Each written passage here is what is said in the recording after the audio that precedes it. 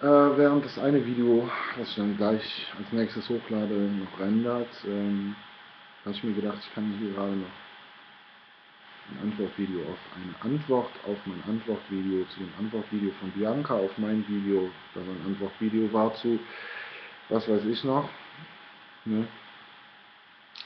Rubin, ja genau. Ähm, und hier schreibt Expiri1 User auf YouTube als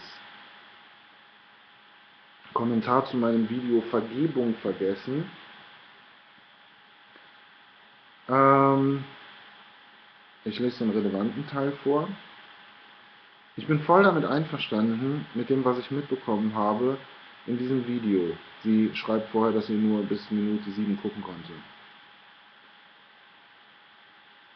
Habe auch das Video von Bianca gesehen, dann noch dein Video, weswegen Bianca geantwortet hat. Es gibt Menschen, die keine Reue empfinden können. Wie stehst du, also ich, zu den psychopathischen Mitmenschen in unserer Gesellschaft? Sollte man ihnen auch vergeben, da sie vielleicht so geboren wurden? Ist mir ein Anliegen, das Thema. Ähm, ja, ist mir auch ein Anliegen, vor allen Dingen, weil kaum einer irgendwie mal andere Gedanken im Kopf hatte, wie man mit Psychopathen oder anderen unangenehmen Zeitgenossen umgehen kann. Ich habe das früher genauso gedacht und irgendwann ist mir mal bewusst geworden, dass sich daran einfach nur meine eigene Angst vor diesen Menschen spiegelt, beziehungsweise eigentlich nicht mal, ähm, sondern dass diese Menschen mich erinnern an das, wozu ich eigentlich fähig bin. Und wenn ich mir angucke, was für Erinnerungen in mir mittlerweile auch wieder aktiviert worden sind, die aus anderen Inkarnationen kommen, äh, weiß ich, zu was ich fähig bin. Und was das angeht, kann sich, glaube ich, keiner so ganz davon lossprechen, frei von Schuld zu sein, im Sinne der Anklage, ein Psychopath zu sein. Diese ganze Gesellschaft hier ist ein Psychopath ja, also das Psychopathischste, was ich mir vorstellen kann, ist, wie man an dem Ast sägen kann, auf dem man sitzt, aber das ist das, was wir im Kollektiv bisher getan haben. Und ich kann mir versichern, dass niemand wirklich als Psychopath geboren wurde, sondern vielmehr geboren wurde, um das Leben eines Psychopathen zu erfahren dadurch anderen, die zum Beispiel Opferrollen noch erleben wollten, die Möglichkeit geben, diese zu erleben. Ich weiß, das will man gerade gar nicht hören. Aber es ist so. Auch die Seelen von kleinen, in, von kleinen Mädchen, die im Wald so Hackstücke gefunden werden, haben sich das vorher ausgesucht. Und es ist okay mit dem Universum. Und es ist im, im Interesse des Universums, dass sowas passiert. Ähm, Sonst wüsste man auch gar nicht, worüber wir gerade reden. Wenn die Erfahrungen nie gemacht hätten werden können. Und es ist halt so, dass wir tatsächlich als Seelen in Liebe uns die grausamsten Dinge antun. Unbewusst, natürlich, weil wenn es bewusst wäre, wäre das Grausame nicht da. Und dadurch, dass mir das halt auch in den letzten Jahren immer bewusster geworden ist, hat das halt auch das Grausame sehr verloren. Deswegen rede ich da gerade vielleicht ein wenig, scheinbar ein wenig kaltherzig drüber. Ist es aber überhaupt gar nicht. Ich meine das wirklich sehr liebevoll. Und Psychopathen, muss ich ganz ehrlich sagen, ich habe mal irgendwann die Definition eines Psychopathen gelesen und habe mich in jedem, in jedem Punkt wiedergefunden. bis auf in dem einen, der gar nicht aufgeführt war. Ich bin für niemanden eine Gefahr. Weder für mich noch für irgendjemand anderen. Und trotzdem trifft die Beschreibung eines Psychopathen vollständig auf mich zu. Bis auf halt eben, dass ich nicht mehr schlafe. Weil das ist was, was in der Definition eines Psychopathen unter Schläfern nicht berücksichtigt wurde. Ja, die Autoren dieser Definition waren ja selber noch Schläfer. Wie sollte man also mit ihm umgehen und sollte man ihm vergeben? Also für mein eigenes Seelenheil habe ich es sehr sinnig befunden, jedem zu vergeben und zu schauen, dass ich für jedwede Situation, die ich beim besten Willen nicht nachvollziehen kann, aber auf jeden Fall Verständnis aufbringen kann. Verständnis in der Form, dass es meinem Geist reicht, wenn ich sage, es gibt einen Grund dafür, wir brauchen den nicht zu kennen. Das gut sein.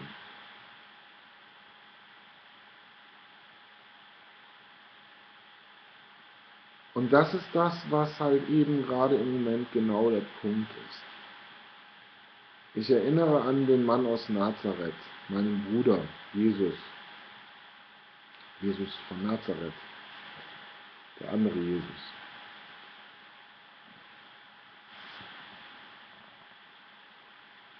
Der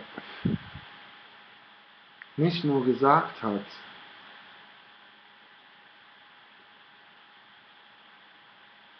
nehmt euch der Armen an und der Aussätzigen und derer, die geachtet sind, äh, die, die, die verachtet sind, geächtet.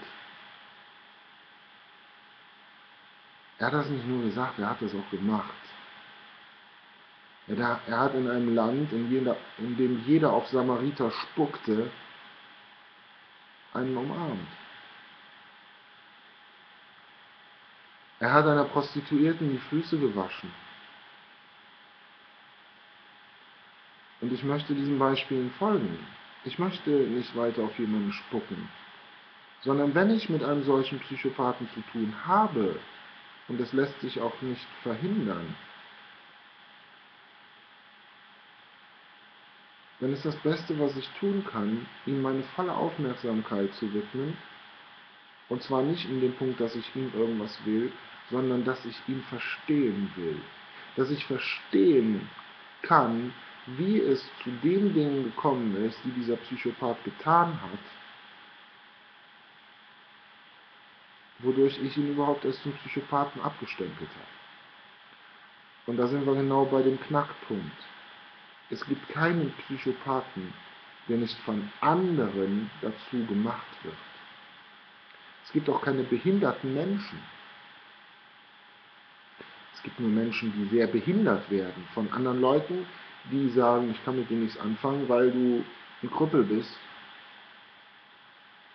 Und in dem Moment, wo ich dann jemand anders einen Behinderten nenne, behindere ich mich eigentlich selber, weil ich auf, so auf diese Weise natürlich dieser Person keinen Nutzen abgewinnen kann.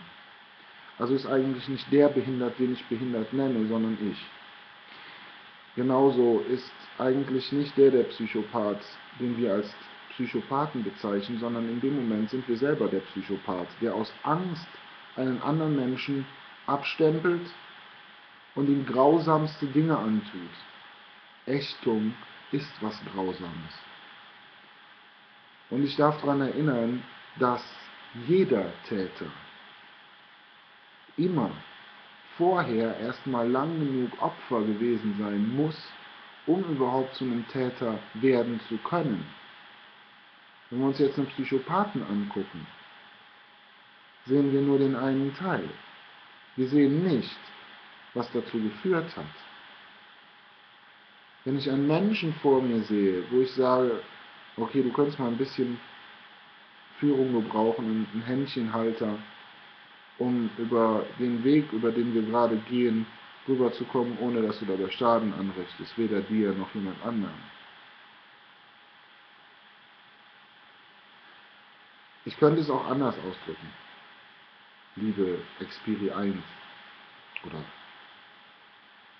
wieso gehe ich ja eigentlich davon aus, dass das eine Frau ist? Entschuldigung. Aus irgendeinem Grund hatte ich den Eindruck, ich weiß nicht warum. Also, sorry.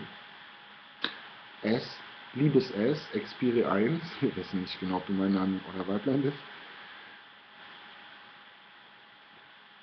Du nennst meine Brüder und Schwestern Psychopathen, obwohl du sie gar nicht kennst, obwohl du gar keine Ahnung hast, wie sie zu dem geworden sind, was du da gerade überhaupt greifen kannst und mit irgendeinem Namen beschmeißt. Geht's dir noch gut? Warum tust du das? Ist nur ein Beispiel, ist nur eine Sichtweise, die aber definitiv erklärt oder zeigt, dass man gewisse Dinge auch einfach anders angehen kann.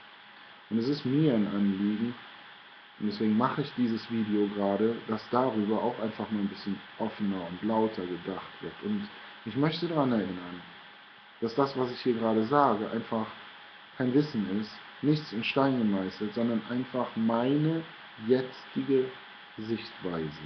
So wie jedes einzelne von Video von mir auf meinem Kanal immer die jeweilige aktuelle Sichtweise wiedergibt und ich die Videos gemacht habe, weil ich lang schon kapiert hatte, wie sinnig das für mich selber ist, meine Gedanken mal festzuhalten. Auf die Weise habe ich da permanent Zugriff drauf. Ich brauche nie wieder Angst zu haben, irgendwas zu vergessen, was für mich wichtig ist. Ja? Das meiste davon ist alles in den Videos drin. Alle gemacht aus einem inneren Impuls heraus. Wie der damals zwischendurch aussah, spielt keine große Rolle. Heute bin ich einfach dankbar, dass ich meine Gedanken immer wieder einfach mal anhören kann. Mir auch anhören kann, wie ich vor einer Weile gedacht habe. Und so ist auch das hier ein durchlaufender Posten. All das, was in diesem Video gerade gesagt wird, wird irgendwann überhaupt gar keine Relevanz mehr haben. Weil aufgehört haben werden zu urteilen. Weil durch Videos wie diese hier das gerade durchlöst. Nicht nur durch diese Videos, aber die sind halt ein Teil davon. Den größten Teil macht es aus, dass wir tatsächlich anfangen, offen zu denken und mit den Menschen über das zu sprechen, was uns wirklich bewegt. Und nicht mehr über die Themen, die durch die Medien vorgegeben werden. Hm? Ja, ich äh, bedanke mich und ähm, hallo Eva und sag einfach bis bald.